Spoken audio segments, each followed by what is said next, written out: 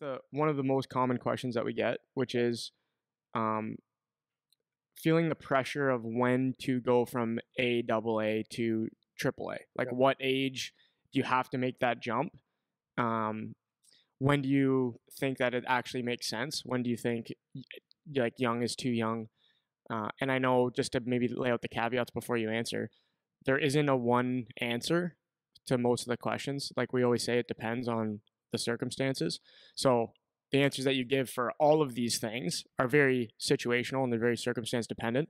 But this is kind of just if we take a generic case of what typically you've seen with your experience or what you've been through, um, kind of how you made decisions through this stuff, and then hopefully people will be able to kind of extract things and apply to their own situation. But I've we always say this: just don't take everything we say as gospel about everything. Yeah. But we'll start we'll start on that one. Yeah. So like the, the best way to do this for me is like to, is to explain how I how I- how I raised my kid. Right. Mhm. It's the easiest way because he's um, he's had a lot of success in hockey so far, and um, and I feel like that I have a pretty common sense approach to it because I've got a level head about it. Right. So I'm not over the top worried about him at, at any point in my life being a NHL player or getting his school paid for. I was never worried about that. So that never played into the role. Okay. Yep. So for me, he was a a- my, my kid was a pretty good hockey player when he was young. Not the best in the world, but pretty good. You could see that there was a foundation that if he continued to work at it, there there is a possibility of him being a pretty good player. And I was I was saying this when I was he was eight or nine. I'm saying a possibility of him being a decent player, Mhm. but I knew that I couldn't even make that judgment until he was about 14 years old. Okay, and it's and and and and for obvious reasons, or maybe it's not so obvious that a lot of things can change from zero to 14 or zero. You're born. Uh, a lot of things could happen uh, up until 14, and one of the main things is puberty and body checking, right? Yeah. So Yeah. that's those are those are two main things, and then after that, the game can completely change for a lot of people, and then it changes after as well. But that was the most important thing. That so, anyways, I looked at my I looked at my kid and I said, yeah, he's a pretty good player. All right, It was and my intentions 100 percent was the bantam level, 14 years old. Okay, so you'd have so what would that mean in the OHL terms? Even though I wasn't necessarily thinking in in, in that um, thought pattern yet, in, in getting drafted as a 16 year old, that would mean you'd have two years of uh, bantam, three years, two years of bantam hockey, so and one year of minor midget. So U 16, U 15, U 14 to play AAA hockey. If you can't figure out AAA hockey by in three, two to three years, then you probably should never jumped anyways. So you don't have to do it any earlier than that. So, anyways, my reasoning was that I want to stay home. I want to save some money. Not even save money. It wasn't even saving money. It was like I had a business. We had a life. We had two other kids, and my son plays hockey and he happens to be pretty good at it. So what? What? like, why would I go ape shit over that? Right. So we, and I knew that from a hockey standpoint, he had good buddies that he went to school with. We had friends, sort of, in, in that group that we could hang out with. And they lived across the street or five minutes away. It was easy. Life was easy. And we lived in our, our little community.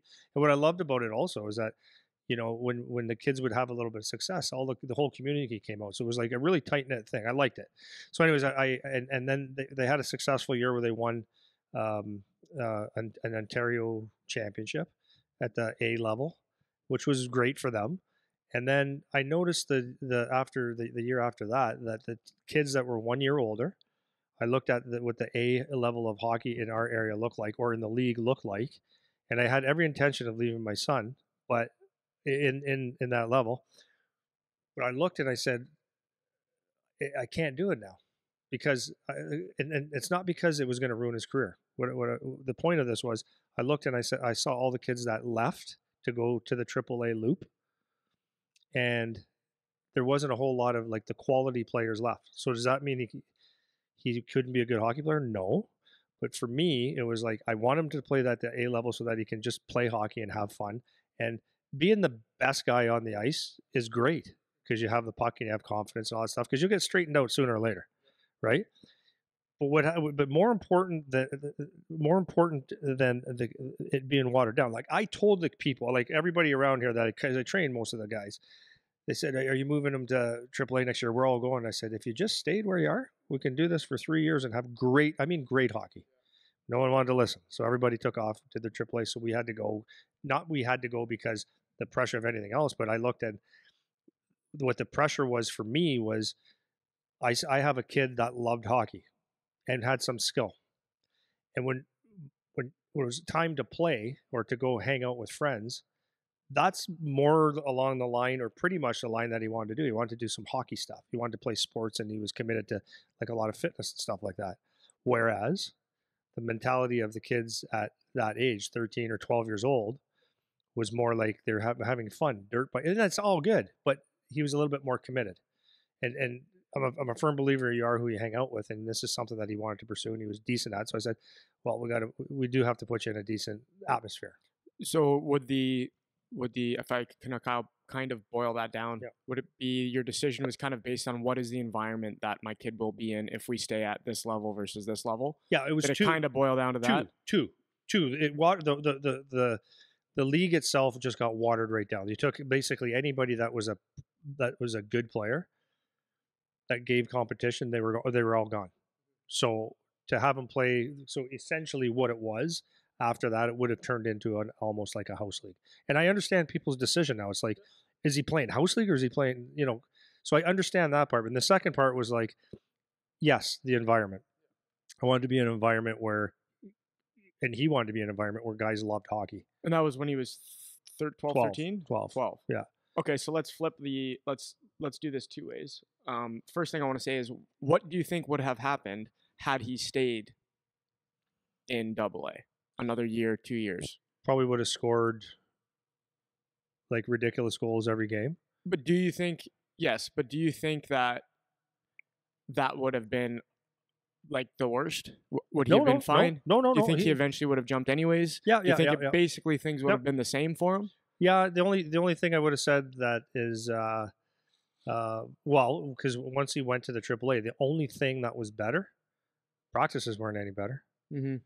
Uh, the only thing that was better is that there was more kids wanted, that wanted to compete to a again. certain degree. They were Yeah. still missing some key pieces in the in the in the league because not everyone jumped, but most. Mhm. And that would be the biggest thing is that the, the games were better because you go to you go out of town and you play um, a little bit better hockey. Having said that, it wasn't the greatest hockey yet. Right. So my point of of bringing that up is this is a very popular question that and people think it's like super consequential. And my point as we always say is in youth hockey there's no one decision of when you make the jump assuming you're going to make the jump because at some point you should you're going to have to make the jump at some point.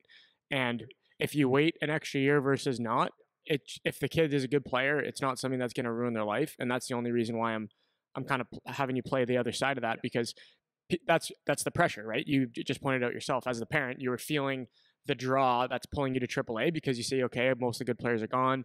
The kids that are left here don't really have that, seem to have that bite for wanting to pursue hockey to the degree that maybe my kid is showing.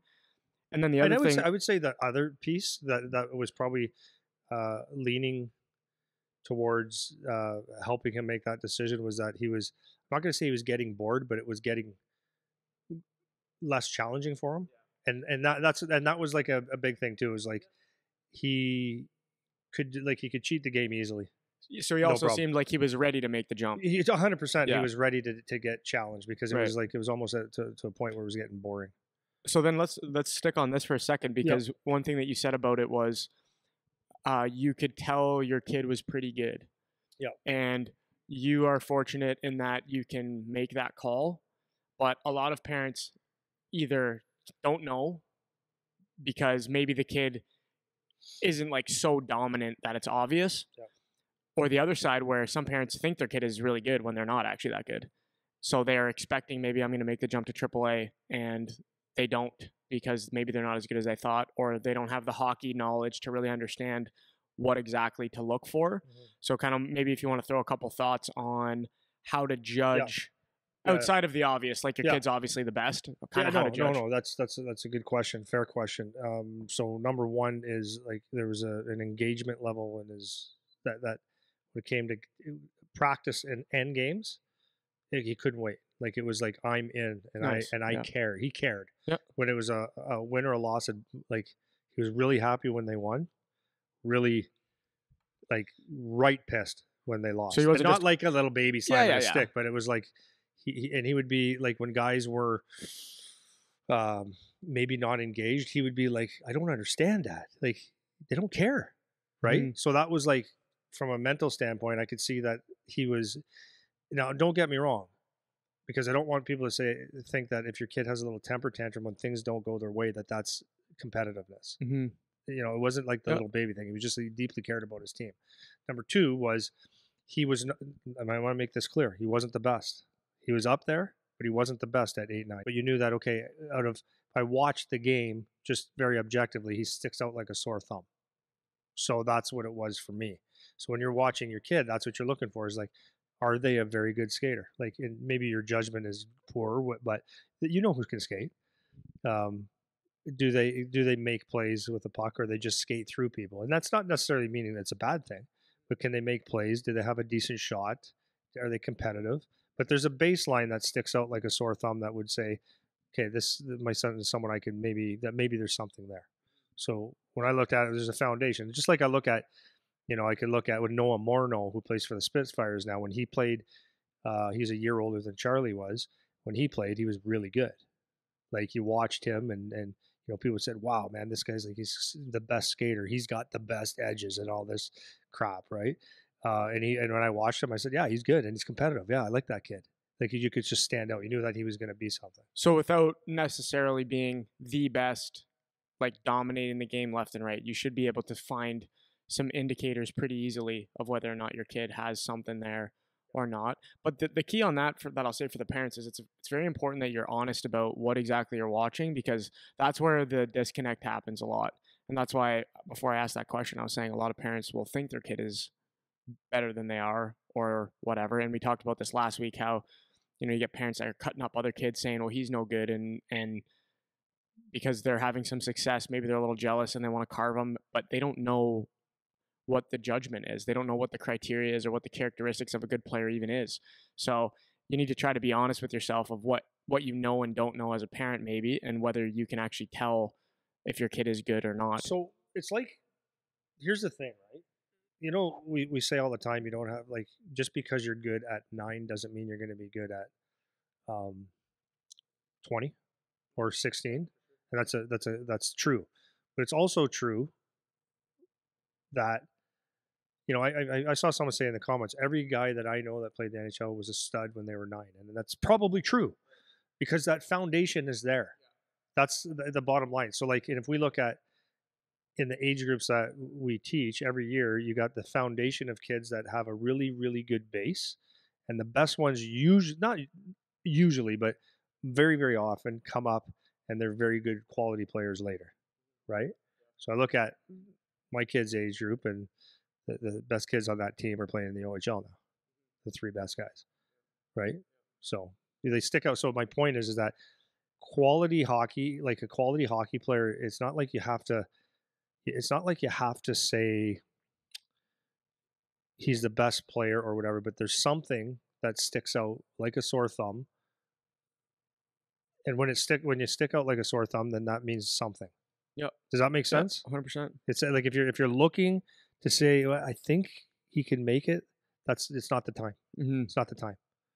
yeah or or or it doesn't matter whether you try or not yet you could wait another year Well, to well, try you should or wait. whatever Yeah, yeah yeah, right yeah. so okay that's cool so then kind of maybe um tailoring in with that is the, so that was good. the pressures to jump to from A to AAA or when, when to jump to AAA. Yeah, and then and then the final thing with that would be like now when you start getting to that 13, 14 year old age, then I think it's time to start looking, as Andy Delmore said like a couple weeks ago, or he did a podcast with us, right? Mhm. Um, yeah, so- that'll be out a couple weeks, yeah. people. By the way, yeah. So when you start getting 13, 14 and there's hitting and you see a commitment, like then now it is the time, hmm right? Like now you see your kid practicing and